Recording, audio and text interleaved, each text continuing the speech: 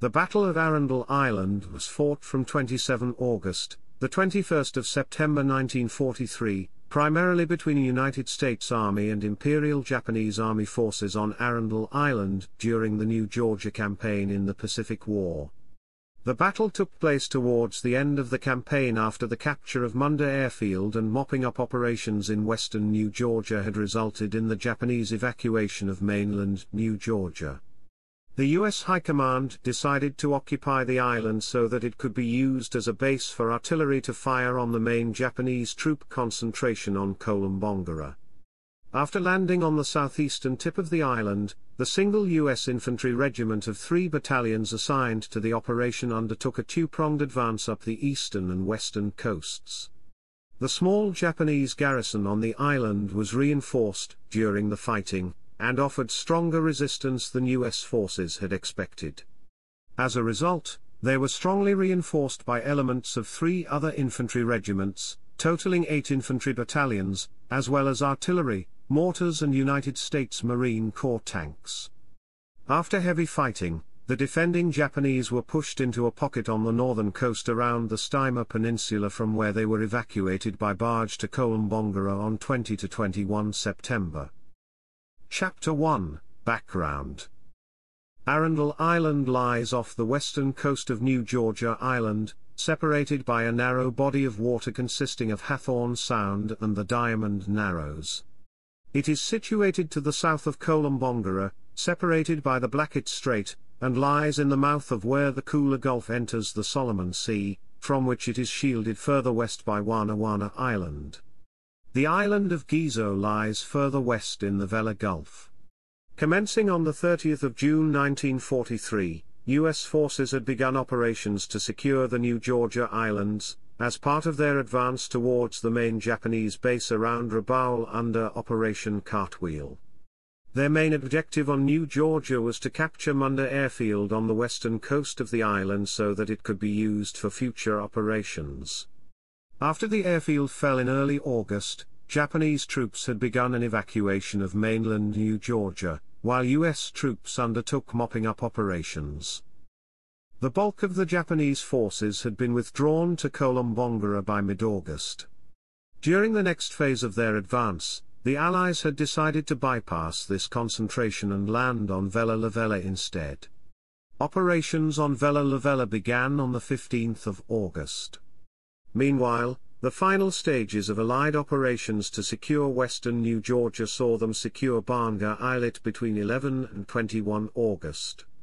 With Baanga captured by U.S. troops, mopping up operations, secured the area north from Munda to Bairoko on New Georgia Island. The Japanese High Command considered launching a counterattack on New Georgia at this time, using troops on Kolombangara. Efforts to bring forward reinforcements in early August had been disrupted by the loss of three destroyers during the Battle of Vella Gulf and consequently these plans were cancelled, and instead the decision made to move the troops from Baanga to Arundel from where they could delay further Allied advances. This move was completed on the 22nd of August. Possession of Arundel Island offered control of the Blackett Strait, which stretched north from New Georgia, as well as the Diamond Narrows to the south. It also offered firing points on either Munda to the Japanese and on Vila, for the Americans. In the wake of the campaign on the mainland, Allied commanders decided to capture Arundel Island so that it could be used to shell the main Japanese troop concentration on Kolombangara, specifically the airfield around Vila. Prior to the invasion, the island was held by 200 Japanese troops from the 229th Infantry Regiment, under the overall command of General Minoru Sasaki. U.S. planners anticipated only a minor operation to secure the island, and initially assigned only a single infantry regiment to it. Chapter 2 Battle On the 27th of August 1943, the 172nd Infantry Regiment, forming part of the 43rd Infantry Division, crossed Hathorn Sound via the Diamond Narrows and landed unopposed on the southeastern coast of the island. After establishing a beachhead, the landing forces sent out patrols to locate the Japanese. They then split into two forces that advanced north up the eastern and western coasts through dense jungle and mangrove swamps towards Stima Lagoon in the east and Bustling Point in the west. The advance was slow, held up by the terrain and fatigue amongst the US soldiers. The first clash occurred on the 1st of September on the eastern coast, south of the lagoon. During the initial stages of the battle, the defending Japanese troops sought to engage the attacking US troops from maximum range, or conduct harassing raids on static points, while generally avoiding contact to prevent being decisively engaged. The 173rd Infantry Regiment had previously fought on the mainland around Munda and Baanga.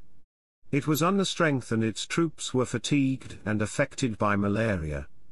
In an effort to cut off the Japanese line of withdrawal, the 2nd Battalion, 173rd Infantry landed near the lagoon and dispatched more troops to reinforce the eastern patrols.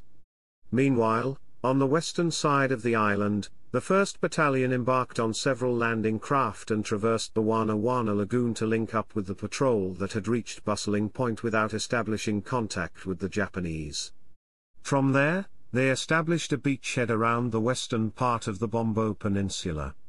On the 5th of September, the 2nd Battalion attacked heavily fortified Japanese positions around Stima Lagoon that were defended with mines and booby traps, and machine guns. Supported by artillery batteries firing from Kolombangara, the Japanese resistance proved more intense than US planners had anticipated and the 3rd Battalion, 173rd Infantry Regiment was also landed around the lagoon to assist on the 5th of September.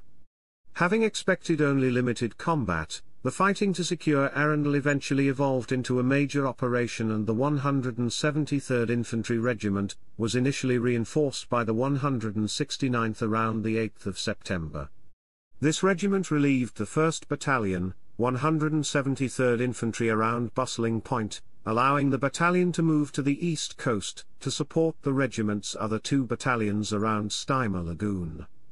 To break the deadlock, other reinforcements were sent later, with US forces reaching a peak strength of eight infantry battalions. These were drawn from a number of units, including the 27th Infantry Regiment and a company from the 103rd Infantry Regiment, along with 4.2-inch mortars, from the 82nd Chemical Battalion, two batteries of 155 mm howitzers, a reconnaissance troop, and 13 U.S. Marine tanks. The 27th was landed around the Bombo Peninsula, where the 169th Infantry had established a blocking position, with artillery support from the mortars and 155 mm guns, while other artillery from the 9th Defense Battalion based on mainland New Georgia around Munda Point fired against Japanese guns on Kolombangara to support the eastern force. Meanwhile, the Japanese also reinforced the island, dispatching a battalion of Colonel Satoshi Tomonari's 13th Infantry Regiment commencing the 8th of September with orders to secure food by attacking U.S. troops around Munda or Bairoko on the New Georgia mainland. They were also charged with delaying the U.S. forces long enough to enable elements of the 8th Combined Special Naval Landing Force, and the South Seas Detachment to withdraw from Kolombangara. Two battalions of the U.S. 27th Infantry Regiment arrived around Bustling Point on 10 to 11 September, while the 1st Battalion remained at Enogai on northern New Georgia. Their commander, Colonel Douglas Sugg, would assume command of all U.S. troops in the north of the island. The 27th was tasked with clearing Sagekarasa Island and the Bombo Peninsula, attacking towards the east in an effort to push the Japanese back towards the blocking positions that the 172nd Infantry Regiment was holding.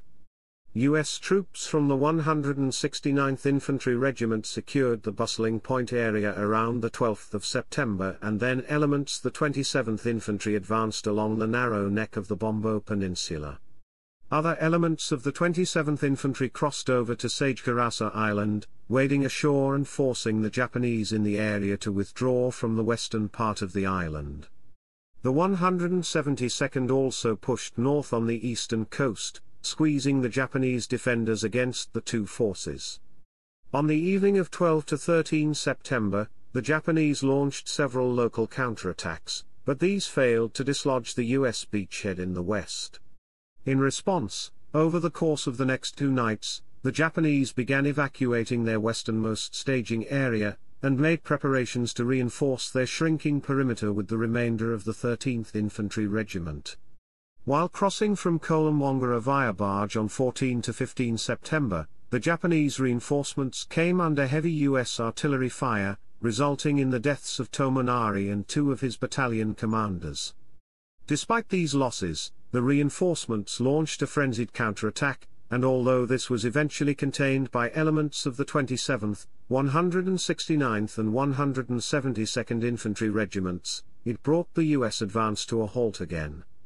The Japanese subsequently resumed delaying tactics. In an effort to reinvigorate the offensive, Sugg arrived on Arundel on the 15th of September to oversee a renewed attack supported by the Marine tanks, which arrived on the Bombo Peninsula via landing craft from Munda. He began a series of coordinated assaults utilizing the tanks to provide close support to his infantry. The fighting would continue for another week as the Japanese were forced into a small perimeter on the Stima Peninsula.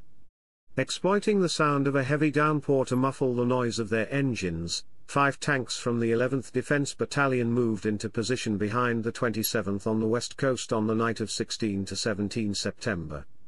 The following morning the five tanks, operating in two waves with infantry support, destroyed a Japanese strongpoint, allowing the front line to advance 500 yards.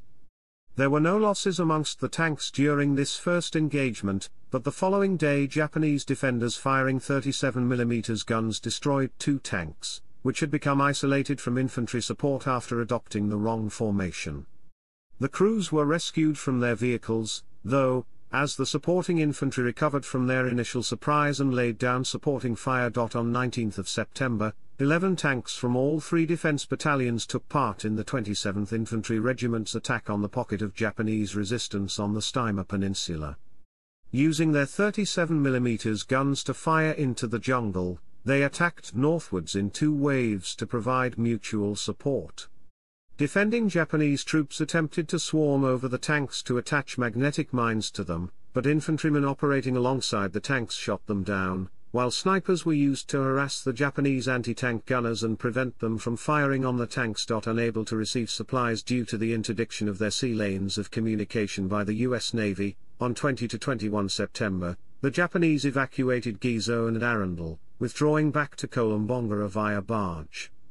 In order to cover their withdrawal, the Japanese laid down an intense artillery bombardment from Kolombangara, which prevented the surrounding US troops from attacking the withdrawing troops. Meanwhile, US gunners and mortarmen maintained their own bombardment on the withdrawing Japanese barges.